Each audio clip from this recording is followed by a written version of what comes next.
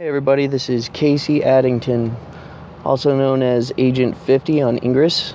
Um, wanted to talk a little bit about uh, a couple things. I uh, was chatting with some friends, uh, you know, kind of coming up with, you know, little plans and stuff, and just, you know, the general uh, chatter that goes on behind the scenes of Ingress.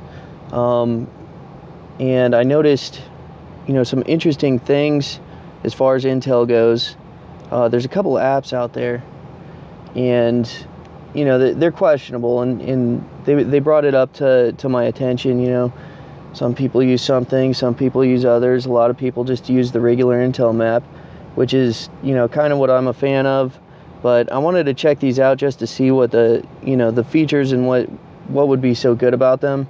Um, so I'm going to start off with this is going to be a two-part video. Uh, first part is going to be IITC. There's a, a handful of people I know who are big fans of it. So this right here is IITC. Um, when you log on, you're going to have to put in your Google information.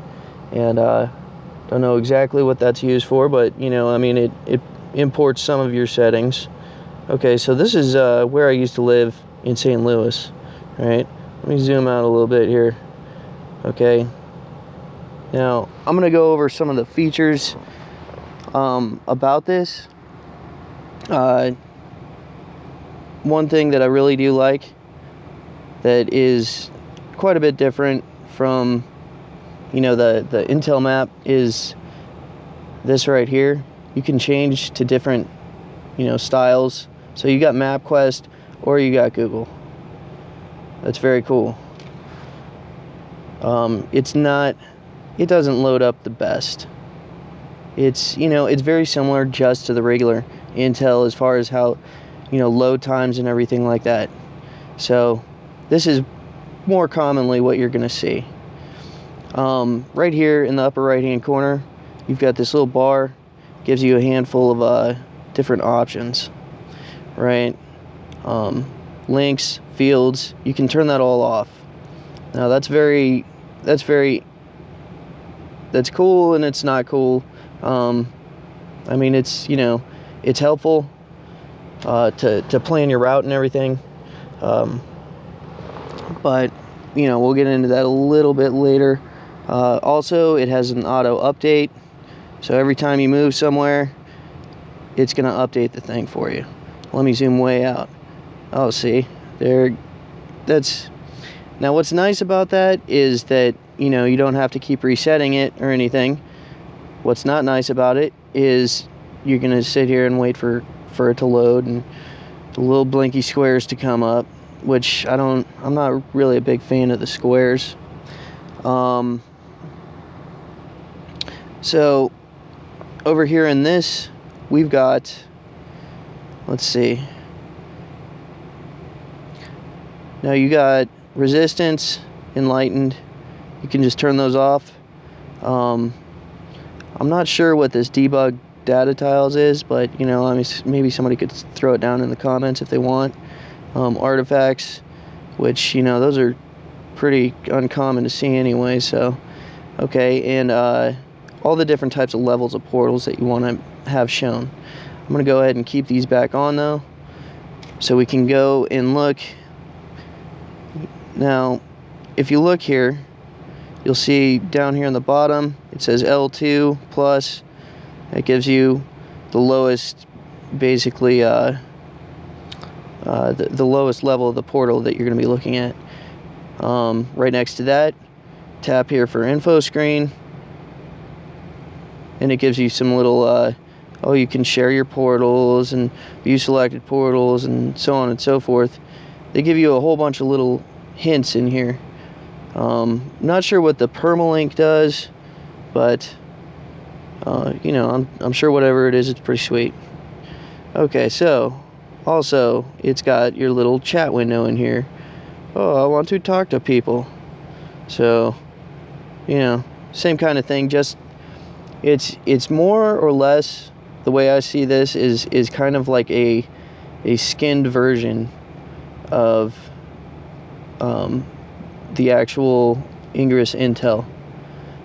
So it's uh I mean it's nice. It's nice. There's there's definitely a lot of good things about it. Um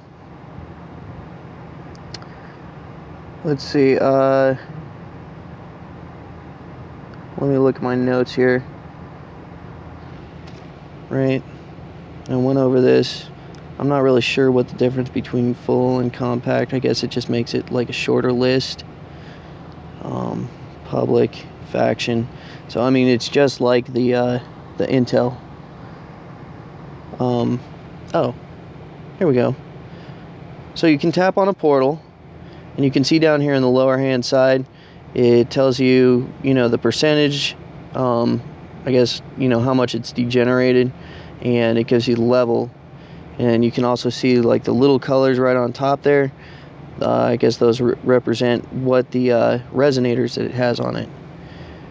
Then you can hit it right there and it brings up this little thing tells you what you can do with it.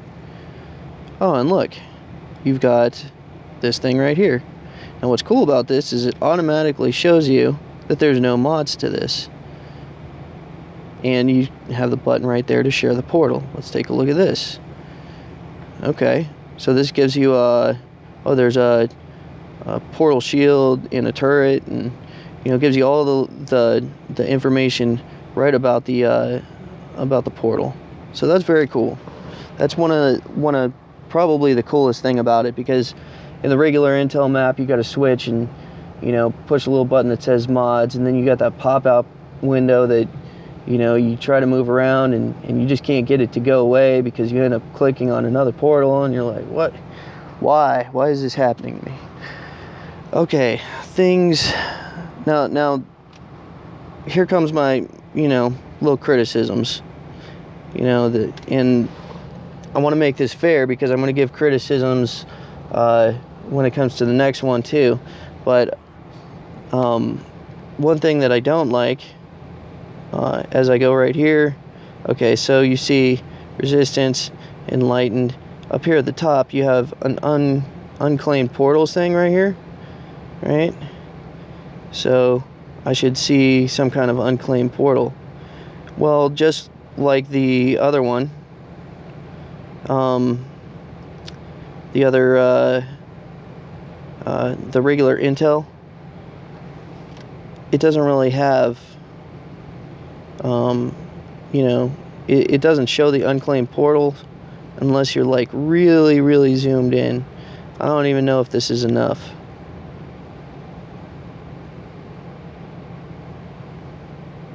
Uh, I know there's some around here somewhere. But as far as like refresh time and everything, I guess it's you know it's it's not bad. Um, but that's one thing that bothers me. You know, if you're gonna have a little check mark button for the, you know, the unclaimed portals, um, it'd be nice to be able to see where they are without having to zoom in and scroll and refresh and scroll and refresh. I mean, if you're using a, a data plan and you don't have a whole lot of data, then you could be eating it up. So that's one thing. Um, Okay, another thing I don't like about this, um, if you search for it, it's not on the Play Store. It's not. It's not associated with the Play Store, and I don't know why they've they've chosen that route, or if they've been taken off the Play Store, or what what the deal is with that. But um, you know, one of the things alerted to me, uh, somebody told me, hey, why don't you uh, check this out and you know check out IITC? That's what everybody else uses um, because if you use other stuff, you might get you might get banned from the game because they don't allow third-party apps. Well, this is a third-party app. Uh, it's it's it was not made by uh, what Niantic or or whatever the company name is, and they put in their you know little terms of service that okay, well, you know you want to use other stuff, then um, we're gonna have you know some kind of uh, uh, ban on it, you know, and there were people being banned for just having IITC originally. So um, I guess there was too much information being transferred or something like that. Um, also, you have to put in your Google password. I'm not a huge fan of that. um, going to a third party, but at the same time, and, and especially with the fact that it's not on the Play Store, um, because nobody's, you know, that's it's their app. It's not even, you know, verified except through them. So that that kind of bugs me a little bit. Um, oh, also, here's another thing. Okay, well, that's where I was. This is this is where I'm going or where I am right now. Right? Give it a second. This is this is one thing that um you know, I like and I don't if it's to come up. May not. It's thinking. And it's still thinking.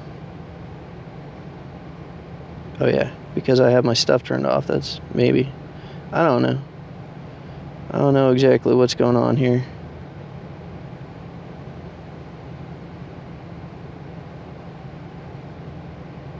Is that me? Zoom me in, Scotty. Okay, maybe if I change my map style. Because it seems to like the MapQuest a little bit. Uh, maybe it doesn't. Point is, is, it, it, it does the same thing that the uh, the other one does, the uh, Intel that you get, you know, right off your. It, it's a, a mobile um, website basically. Whenever you hit the zoom button, it automatically zooms in like very close to where you are. Like, you know, no matter what, it's going to zoom zoom way in.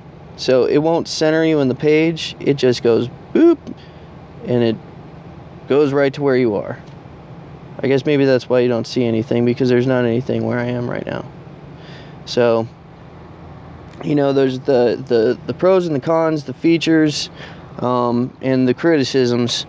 There's a whole lot that can be done with these, um, especially well with uh, the IITC.